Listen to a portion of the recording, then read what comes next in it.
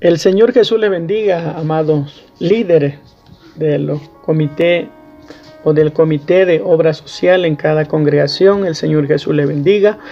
Saludos en el nombre del Señor en esta tarde. También a mi pastor Vinicio Remache, compañero de trabajo en esta preciosa labor de obra social en nuestro distrito número 8.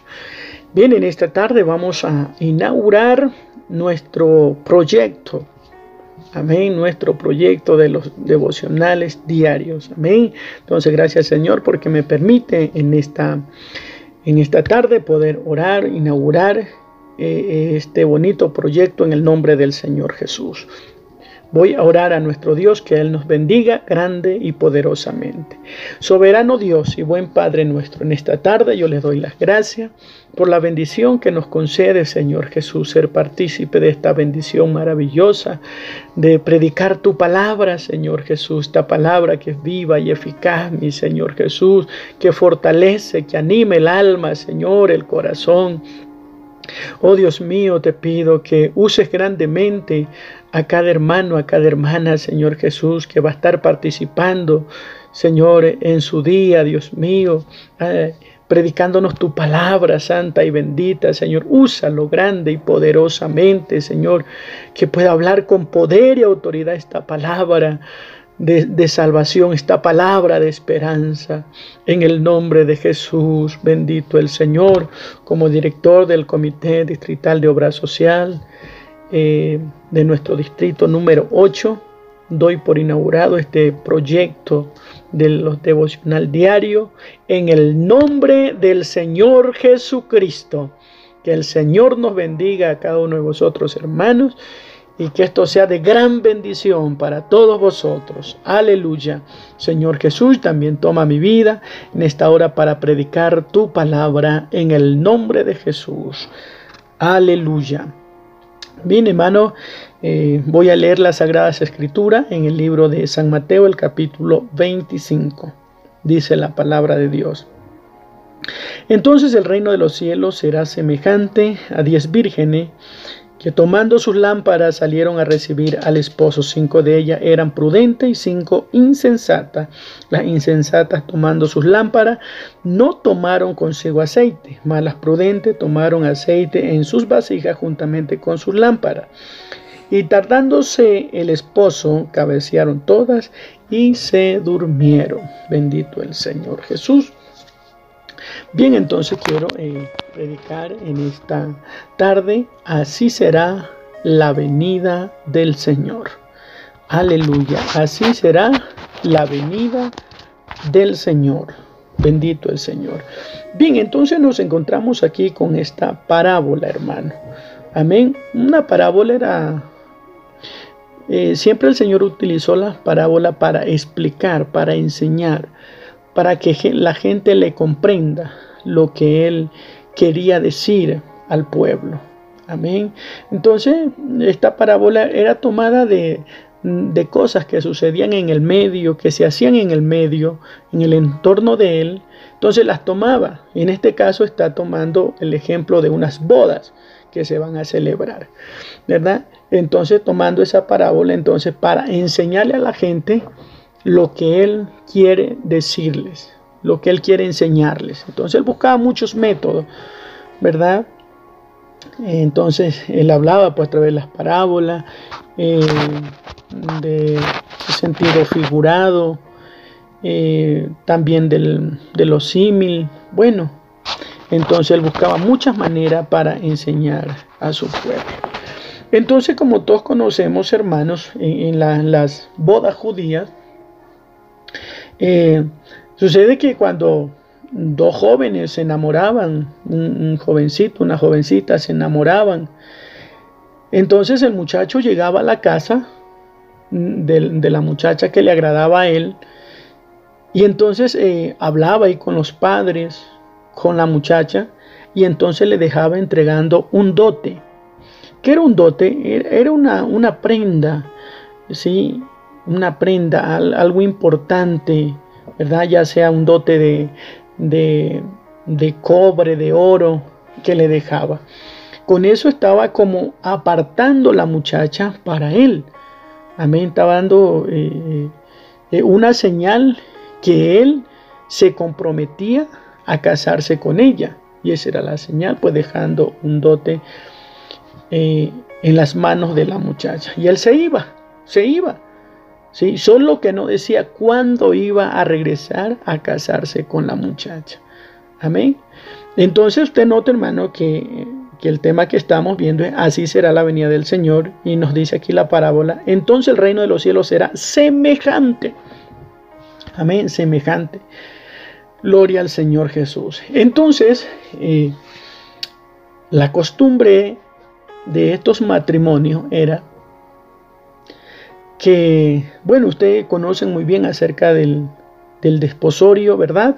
Que era un tiempo de preparación donde la muchacha quedaba separada, el muchacho quedaba separado, amén, y entraban en un año, en un año de purificación, de preparación para el día del matrimonio.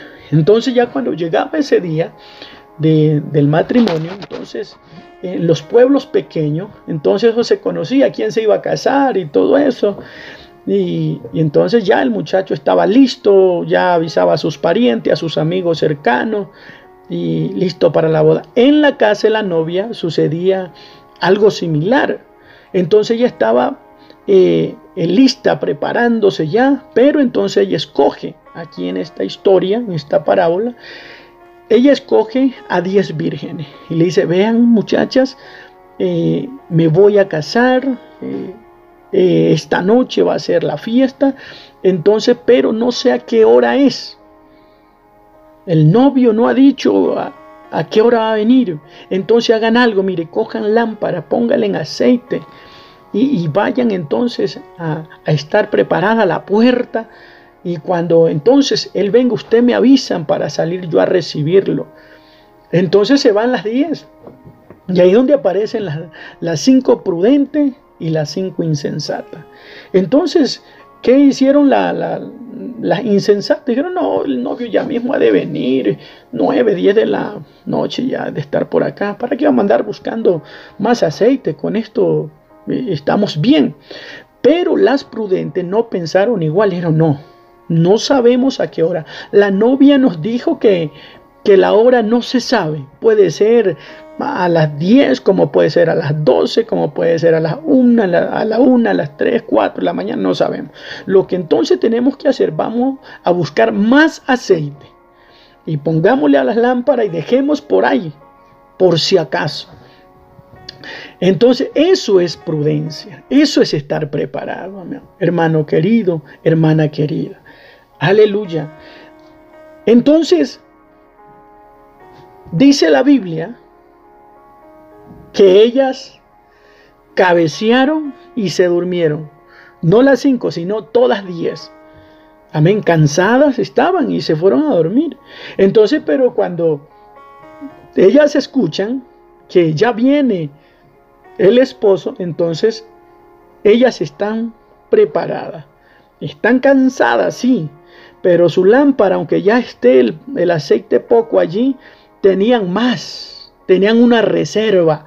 Y entonces llenaron otra vez la lámpara, volvieron a encenderse y salieron a, a ver el joven. ¿Por qué? Porque el, el novio enviaba a uno de sus criados cuando él ya estaba cerca de la casa de la novia, él enviaba a un criado a decirle eh, a la novia que ya estaba cerca el novio. Y entonces salía corriendo y le avisaba, entonces ya estaba todo preparado.